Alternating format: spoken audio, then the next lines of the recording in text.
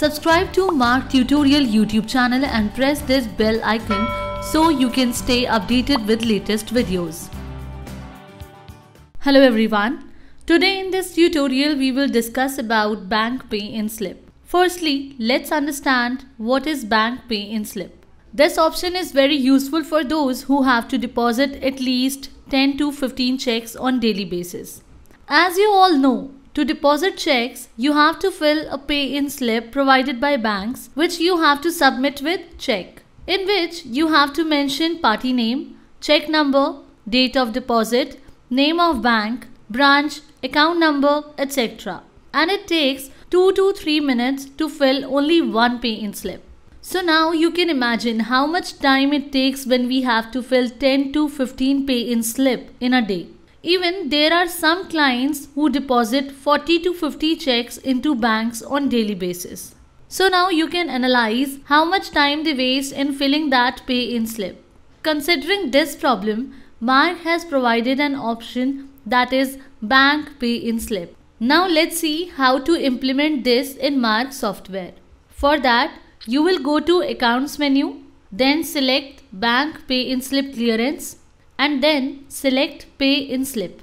And now here you can see bank pay in slip window appears in front of you. Where first option is deposit date. Here we will enter the deposit date means on which date you are going to deposit the check. Then checks up to. Here you can mention the check date up to which you want to deposit in bank. As soon as you will mention the date of deposit in deposit in field, then ledger window will appear in front of you where you will select the ledger means in which bank you are depositing the check. For example, here I will select Bank of Baroda. After this, your cursor will move on to slip number where you have to define the slip number and then press enter. As you will enter then you can see it will load all the checks here.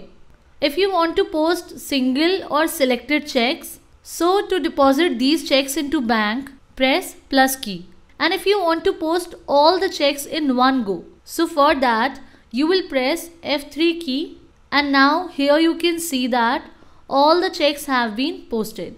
And if you want to view posted checks, so for that firstly you will press escape key. And after this we will come back to main menu. Then switch to accounts menu. Then go to bank pay in slip clearance and now here you will select bank pay in slip posted. As you will select pay in slip posted, pay in slip posted window will get appear on screen.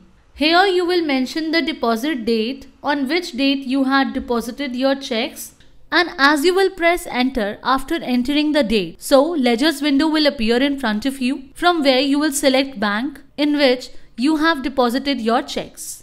After that it shows three slips are available means earlier you had posted three checks. So after filling these entries as you will enter you can see the posted checks here. Now suppose you had posted any check by mistake and now you want to unpost it. So here you will press minus key to unpost that selected check. And if you want to unpost all the checks then for that you will press F3 key.